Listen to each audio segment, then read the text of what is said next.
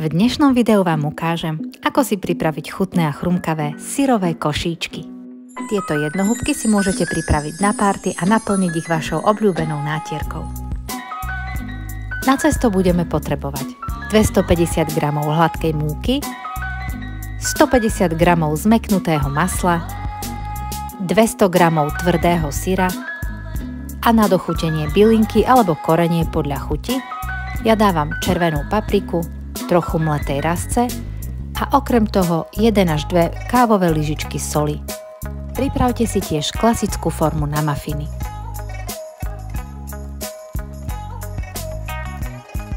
Tvrdý sír nastrúhame najemno. Môžete použiť akýkoľvek tvrdý sír, napríklad Ejdam, Goudu, Cheddar či Parmezán. Môžete zmiešať aj dva druhy.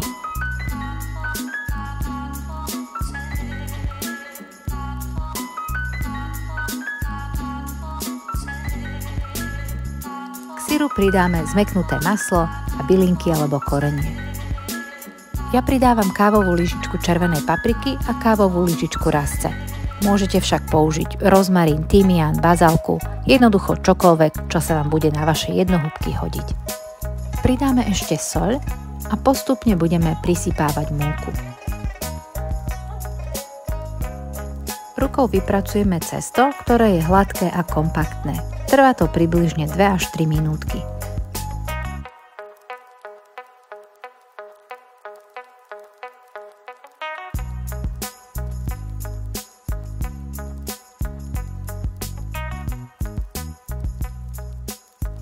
Vypracované cesto si môže ísť na chvíľu oddychnúť do chladničky. Ak ho však potrebujete spracovať hneď, môžete ho rovno vyvaľkať. Ja si ho vždy rozdelím na dve polovice, aby sa mi s ním ľahšie pracovalo. Cesto rozvaľkáme na pomúčenej doske na hrúbku približne 3 mm.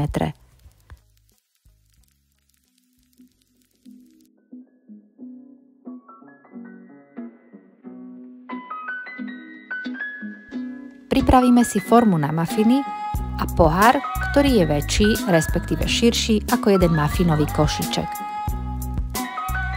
Pohárom vykrajujeme kruhy, ktoré budeme následne plniť do mafinových košičkov.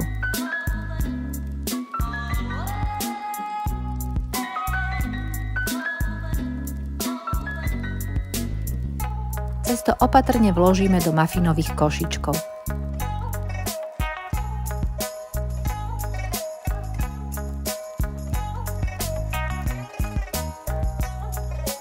Môžeme ho ešte popíchať vidličkou.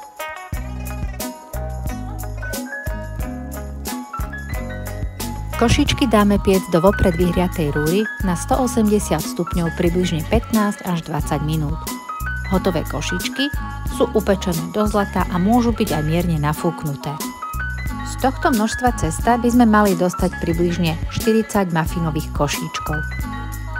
Namiesto košičkov si z cesta môžete pripraviť aj jednoduché syrové krekry.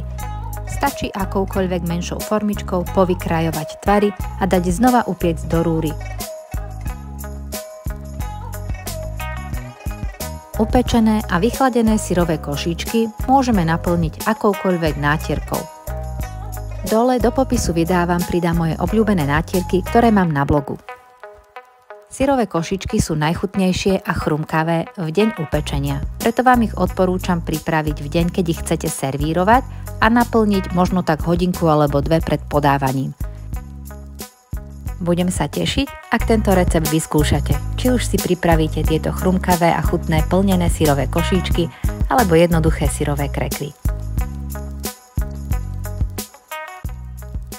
Lajkujte, komentujte, zdieľajte tento recept a odoberajte môj YouTube kanál. Pre viac chutných receptov navštívte aj môj blog zo srdca do hrnca SK.